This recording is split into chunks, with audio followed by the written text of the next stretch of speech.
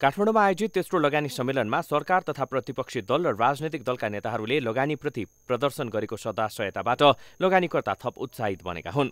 लगानी सम्मेलनबाटै सरकारले आगामी बाह्र वर्षमा अठाइस हजार सात सय मेगावाट जलविद्युत उत्पादन गर्ने लक्ष्य लिएको छ। यसअघि नै आगामी दस वर्षमा भारतलाई दस हजार मेगावाट विद्युत उत्पादन गरी निर्यात गर्ने सम्झौता नेपाल र भारतबीच भइसकेको छ। अठाइस हजार मेगावाट विद्युत उत्पादन गर्न सरकारलाई करिब पचास खर्ब भन्दा बढी लगानीको आवश्यकता पर्छ। यति ठूलो लगानी विदेशी लगानीकर्ताबाट मात्रै सम्भव हुन सक्छ। ऊर्जा मन्त्री शक्ति बस्नेतले लगानी सम्मेलनबाट नेपालको जलस्रोत तथा ऊर्जा क्षेत्रमा विदेशी तथा स्वदेशी लगानीकर्ताहरूले लगानी गर्न प्रतिबद्धता जनाएपछि विश्वासको वातावरण बनेको बताए। लगानी मैत्री वातावरण तयार गर्नको लागि हामीले आवश्यक नीतिगत र कानुनी सुधारका कामहरू पनि गरिराखेका छौँ। भर्खरै मात्र पनि हामीले जमिन वन क्षेत्रसँग लगायतसँग सम्बन्धित केही ऐनहरू संशोधन पनि गरेका छौँ भर्खरै। र यसले लगानी लाई थप आकर्षित गर्नेछ र लगानी मैत्री यसले चाहिँ वातावरण तयार गर्नेछ भन्ने हाम्रो विश्वास रहेको छ। पछिल्लो समय स्वदेशी लगानीकर्ताहरूमा लगानीप्रति विश्वास बढ्न नसकेको कठिन अवस्थामा तेस्रो लगानी सम्मेलनको अवसरमा सरकारले लगानी सम्बन्धी अस्पष्ट कानून तथा नीतिगत कुरामा परिमार्जन तथा सुधार गर्ने प्रतिबद्धता जनाएको थियो।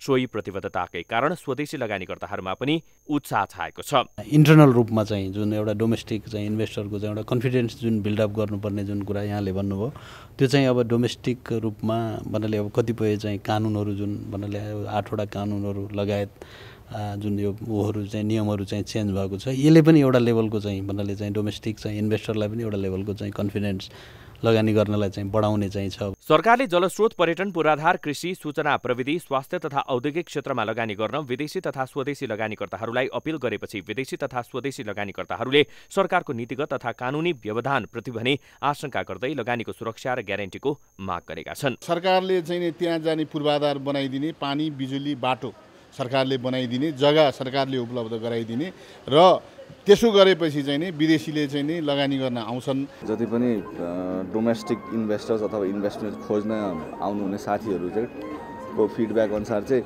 यो गतको दुई वर्षभन्दा दुईचोटि जुन यो थर्ड टाइम भयो यो थर्ड टाइममा चाहिँ अलिकति घुइँचो लागेको पहिला भन्दा पनि अहिले चाहिँ अलिकति तपाईँको एक्सपेक्टेसन भएको यो थर्ड इन्भेस्टमेन्ट समिटमा चाहिँ भन्ने फिडब्याकहरू आइरहेछ। लगानी सम्मेलनमा स्वदेशी तथा विदेशी लगानीकर्ताहरूले देखाएको उत्साह तथा अपेक्षालाई सरकारले प्रशासनिक तथा कानुनी झन्झट तथा कठिनाईहरूलाई सुधार गर्न इमान्दारीपूर्वक प्रयास गर्न सकेको खण्डमा लगानी सम्मेलन सार्थक हुन सक्छ। लगानी सम्मेलनले नेपालको विकास समृद्धिको ढोका खोल्नेछ। यो ढोकाबाट स्वदेशी र विदेशी लगानीकर्ताहरूलाई आशा र मनोबल बढाउन सक्ने आशा गर्न सकिन्छ। तर यसको लागि सरकारले पर्याप्त कानुनको परिमार्जन संशोधन गरेर दीर्घकालीन सोच र रणनीति बनाउन आवश्यक छ। अनि मात्रै विदेशी लगानीकर्ताहरू आकर्षित हुन सक्छन्। क्यामरामा महेश्वर केसीका साथ नवराज चालिसे काठमाडौँ।